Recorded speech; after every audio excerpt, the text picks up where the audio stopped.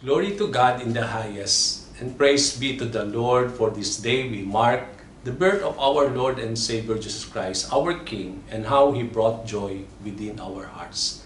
Let us open our Bible to the book of Luke, chapter 2, from verses 8 to 20, and remind ourselves of the day when the angels proclaimed the birth of Jesus Christ.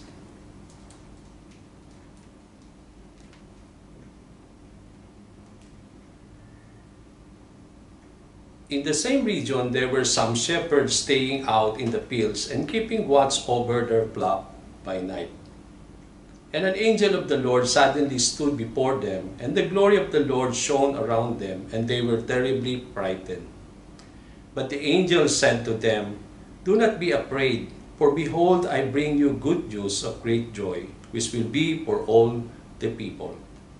For today in the city of David there has been born for you a Savior who is Christ the Lord. This will be a sign for you. You will find a baby wrapped in clothes and lying in a manger. And suddenly there appeared with the angel a multitude of the heavenly hosts praising God and saying, Glory to God in the highest, and on earth peace among men with whom he is pleased. When the angels had gone away from them into heaven, the shepherds began saying to one another, Let us go straight to Bethlehem then and see this thing that had happened which the Lord has made known to us. So they came in a hurry and found their way to Mary and Joseph and the baby as he lay in the manger. When they had seen this, they made known the statement which had been told them about this child. And all who heard it wondered at the things which were told them by the shepherds. But Mary treasured all these things, pondering them in her heart. The shepherds went back, glorifying and praising God for all that they have heard and seen, just as had been told them. Praise be to the Lord for the reading of His Word. And let us come to the Lord in prayer as we come to His holy presence. Thank you, Lord God, for the reading of your word and indeed of how you proclaim once again in our midst the birth of Jesus Christ. And indeed, Lord, we have all the reason to celebrate and to rejoice for the birth of our King who had brought joy within our hearts. Thank you, Lord God, that we can celebrate your goodness and your love and the joy and the peace that you had given us through Jesus Christ, your Son. And indeed, Lord God, our hearts are overflowing with praises and thanksgiving for what you have done for all of us. And Father, as we celebrate this wonderful occasion, we ask, O Lord, that you may bless our hearts, that our lives, O Lord, will always be pleasing before you, living sacrifices before your holy throne. And we ask, O Lord, that you may bless us, O Lord God, as we come to hear your words for us. We thank you, Father. We give you praise. And this is our prayer. In Jesus' name, amen.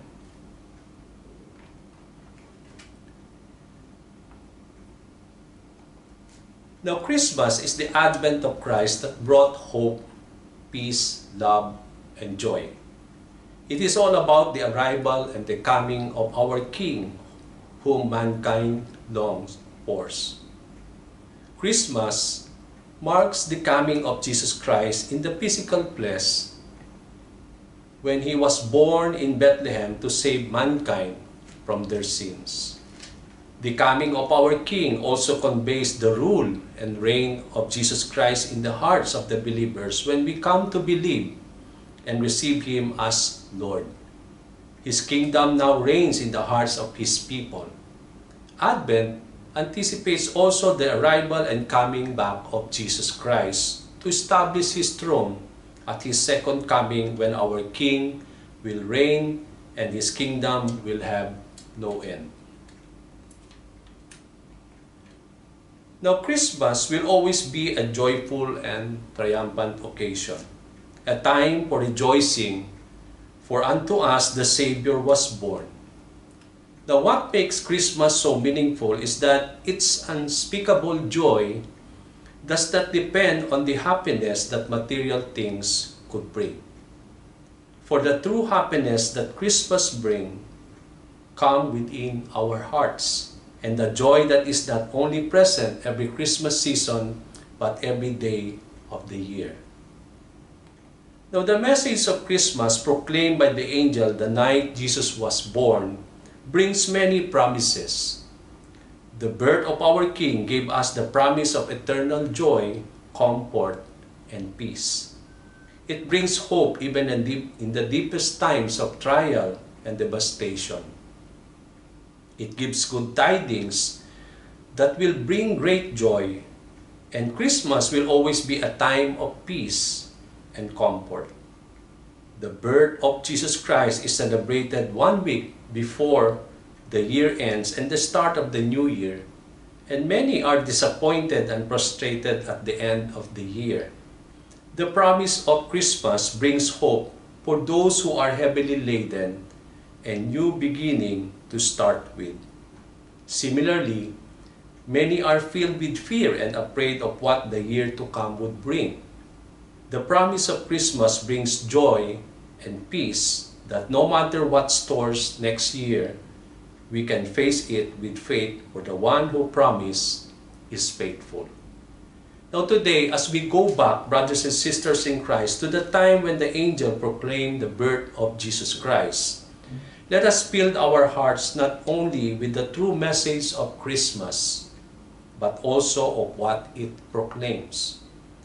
These proclamations were declared not only to highlight the first Christmas, but also the significance and the purpose of this wonderful occasion. Now, what are the proclamations made that night that should fill our hearts as we celebrate Christmas? The first thing that we need to understand is about the proclamation of the good news of great joy. In Luke chapter 2, verse 10, But the angel said to them, Do not be afraid, I bring you good news of great joy that will be for all the people. Now, the night in which Jesus was born, brothers and sisters in Christ, the angel proclaimed the good news of great joy that is meant for all people. It is not only meant for the Jews, not only meant for the Christians, but also it is meant for all the people. The good, the good news of salvation brought by the birth of a Savior brings great joy within the hearts of people. Not only for the Jews, but for every human being. Now, the birth of our King brought joy within our hearts. The good news is about the arrival of God's kingdom and the birth of the King who will bring salvation, causing great joy within the hearts of people the great joy brought by the coming rule and reign of Christ is Christ the King is unspeakable joy and beyond expression. It is an everlasting joy that is overwhelming, bringing delight and satisfaction within. In the book of Isaiah chapter 51 verse 11, those the Lord has rescued will return. They will enter Zion with singing Everlasting joy will crown their heads. Gladness and joy will overtake them, and sorrow and sighing will flee away. The great and unspeakable joy will be felt by those whom the Lord rescued and saved. Everlasting joy will overtake them that sorrow and sighing will flee away. The unspeakable joy, brothers and sisters in Christ, brought by our King and by our Savior Jesus Christ is promised for those who will experience the salvation of the Lord. The great, unspeakable, and everlasting joy comes not by celebrating Christmas alone, but it is brought when a person experiences the saving grace of the Savior King. Christmas is not only a time of celebration, but also a time of proclamation of the good news great joy.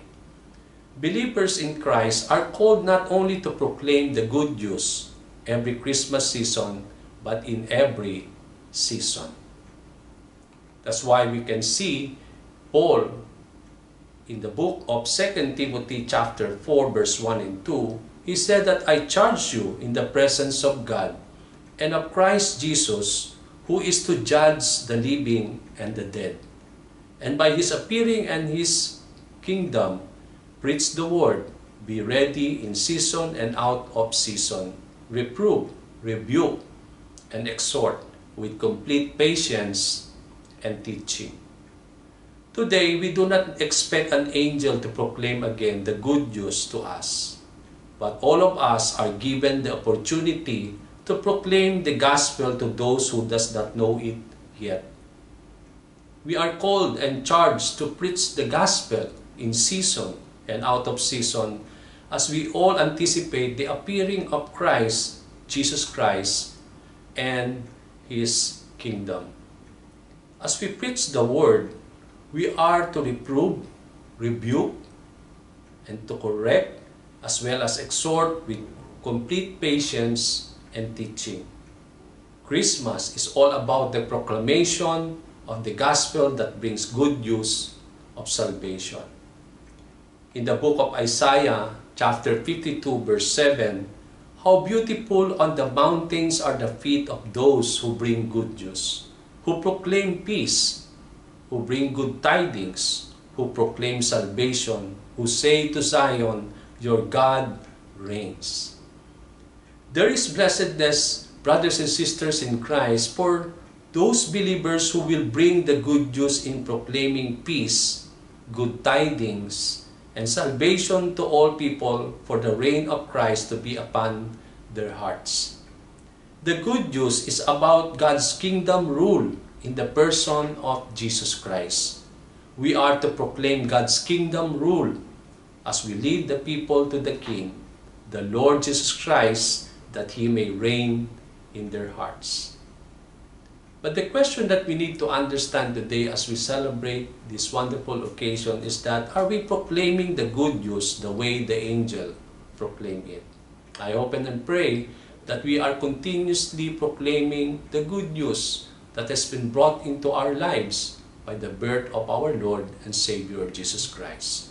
The second thing is the proclamation of the birth of a Savior, Christ the Lord in Luke chapter 2 from verses 11 to 12. Today in the town of David, a Savior has been born to you. He is Christ the Lord.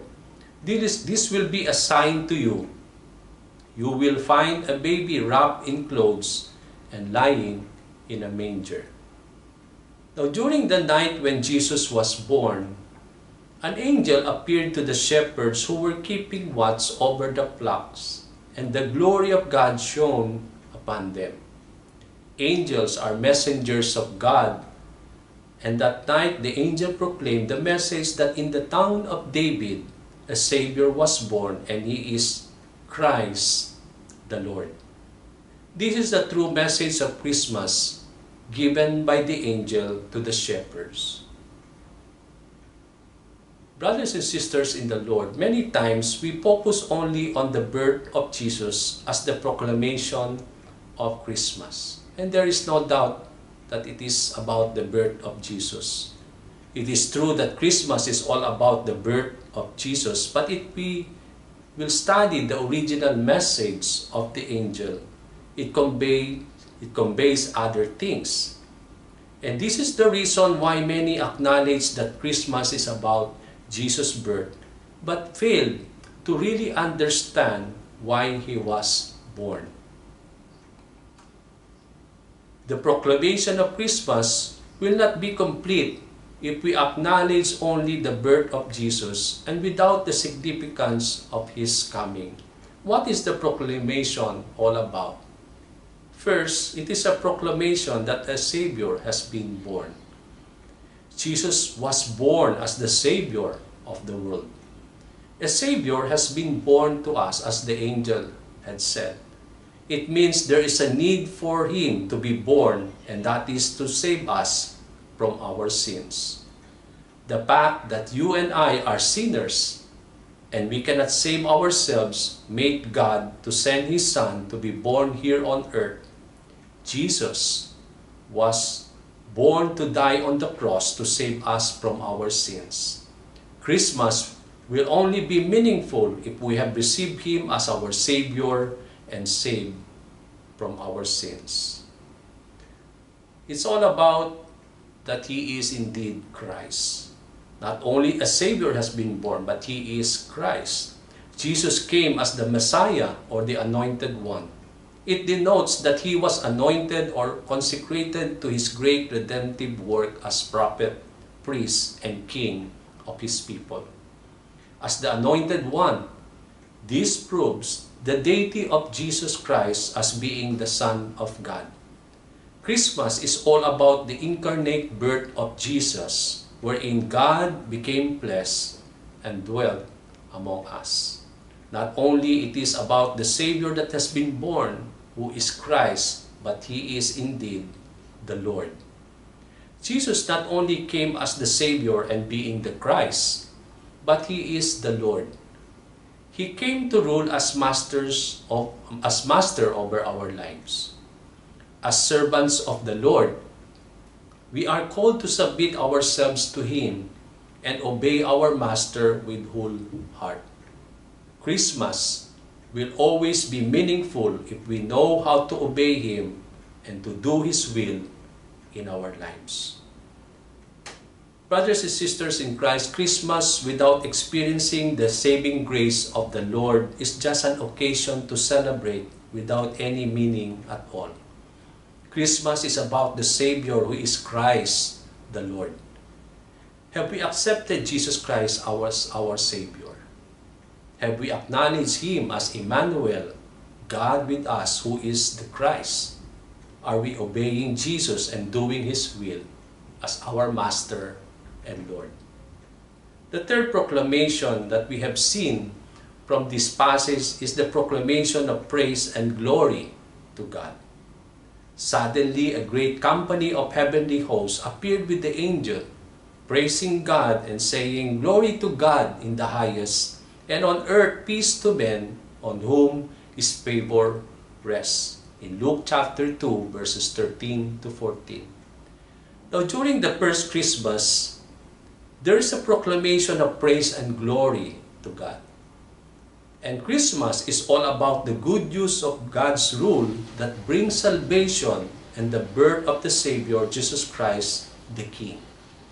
The fact that Jesus came to save mankind should lead us to praise and give glory to God not only every Christmas, but all but at all times.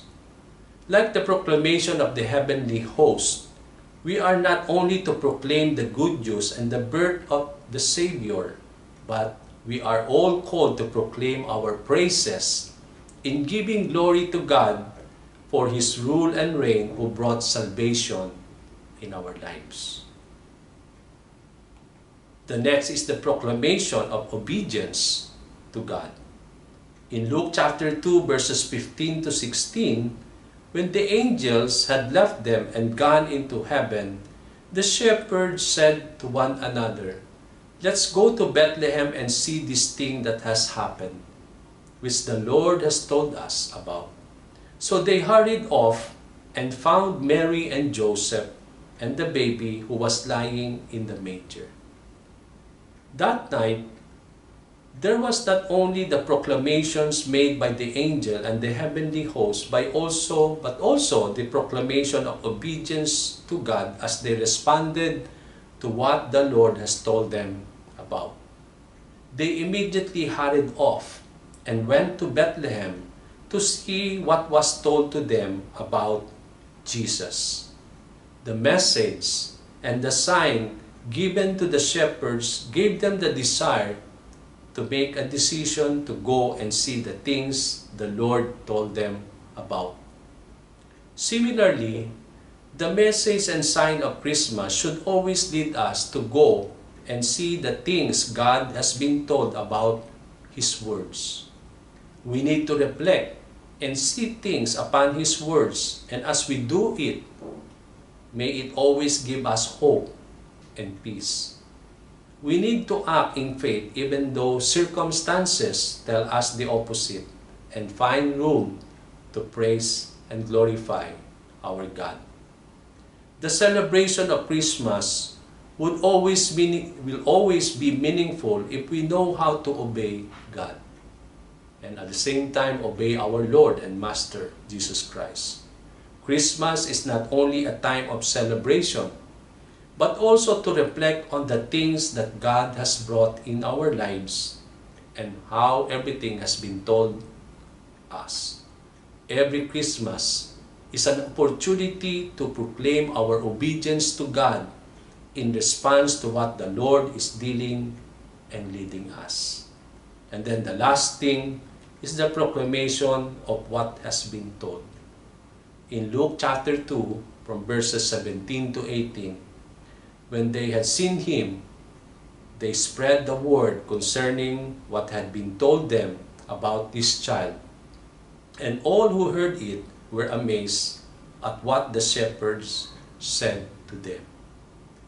After the shepherds saw Jesus, they went from there and immediately proclaimed the word concerning about the Lord. And all who heard their testimony were amazed by what the shepherds told them. Christmas is not only the proclamation or proclaiming the good news of salvation, by, but also the proclaiming our personal testimony of the goodness of God that He brought into our lives.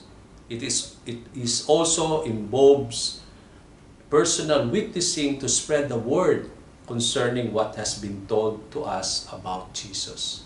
The Bible says that we are witnesses of what the Lord has done in our lives. And we are called by the Lord to give our testimony about the goodness of how the Lord has given us grace and how He had saved us from our sins. As I end,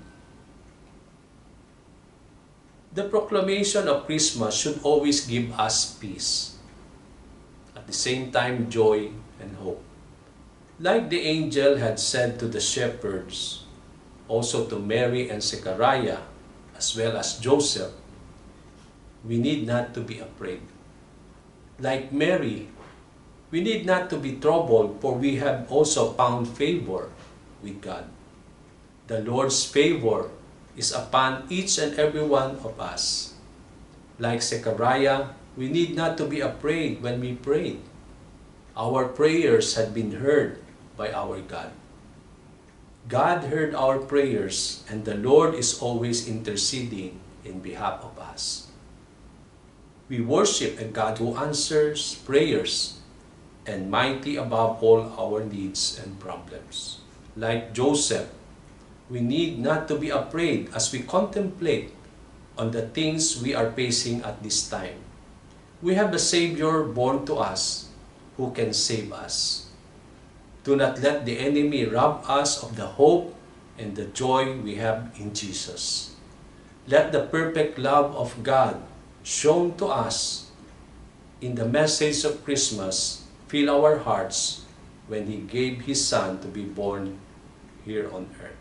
I hope and I pray that God has blessed our hearts as we are reminded by the Lord of the true message of Christmas, of what or why we are celebrating this wonderful occasion. Truly, we continuously thank the Lord for everything that the Lord has done in our lives, praising Him, glorifying the name of our Lord for how He provided salvation for all of His people. And truly, indeed, the King has been born to us, and that is Jesus Christ, our Lord. And we continuously thank the Lord for this wonderful day that the Lord has joined us together in giving glory and praise unto Him. Let us now come to the Lord and let us close into prayer and receive the benediction from our God. O most gracious and heavenly Father, we thank you, Lord, for this time that truly we have all the reason to celebrate and to rejoice over the birth of our King and Savior, Jesus Christ. Indeed, O Lord, our hearts are overflowing with praises and thanksgiving for everything that you have done for us and indeed you remain so faithful to look upon us as your people. We thank you, Father, for indeed a Savior has been born to us who is Christ the Lord. We acknowledge, Lord, that indeed Jesus is our Savior who had saved us from our sin. He is indeed the Christ, the Messiah, the anointed one of God. And indeed, Lord, we thank you, Father, for indeed He is now ruling and reigning in our hearts as our Lord and Master. Help us, O Father, that indeed we will come to Him and that we are able to obey you, Lord, in every areas of our lives. That indeed, O God, as we come to celebrate this wonderful occasion, may the peace and joy and love and hope that you had given us through Jesus Christ continuously rule and reign in our hearts. Father, thank you, Lord, that you are indeed sustaining us even in, even in this time of pandemic. But we have all the reason to celebrate Christmas. That not even this pandemic will able to hinder us in celebration, but we continuously rejoice in your presence today as you had joined us in this wonderful time of worship. We thank you, Father, of how you are giving us grace every day of our lives. And Father, we commit unto you the, your people. May you continuously be with them, O God, and that you will allow them, O Lord God, to experience the joy that is always in their hearts, the peace that transcends all understanding that will guard their hearts and their minds. And at the same time, the eternal hope that as we wait upon the coming of Jesus Christ, indeed our hearts are overwhelming with hope as we continue to endure every hardship in our lives. And we thank you, Father, for the love that indeed you had shown us through your Son, Jesus Christ, and how you gave him, proving indeed that you love us so much. Father, as we come to end, O Lord, our celebration today, may your name continuously be exalted in the midst of us, and that the reign and rule of our King, who is Jesus Christ, continuously be among your people. We thank you, Father. We bless your name. And we bring back to you, Lord, the highest praises, all the glory, and the honor that you deserve alone. For this we ask and we pray. In Jesus' name. Amen. Let us now come to the Lord and let us raise our hands and let us receive the blessing of our God. May the God of all grace, who has called you to his eternal glory, by Christ Jesus bless you and keep you strong during times of testing. May he cause his face to shine upon you and give you grace to endure with patience. May he lift up his countenance upon you to make you perfect and complete in him to establish you clearly in the direction He gives you, to strengthen you through spiritual knowledge and by the power of the Holy Spirit as you seek Him with all your heart. May the Lord settle you, making you secure and confident in His love and provision for your peace and well-being. Now the God of hope fill you with all joy and peace in believing that you may abound in hope through the power of the Holy Ghost grace and peace be multiplied unto you through the knowledge of God and of Jesus our Lord. Now unto him that is able to keep you from falling and to present you faultless before the presence of his glory with exceeding joy, to the only wise God our Savior, be glory and majesty, dominion and power, both now and ever. In the name of the Father, and of the Son, and of the Holy Spirit, our services ended, may you go always in peace with the love of our God. And I continuously greet you all a Merry Christmas and advance Happy New Year. May the Lord bless us all.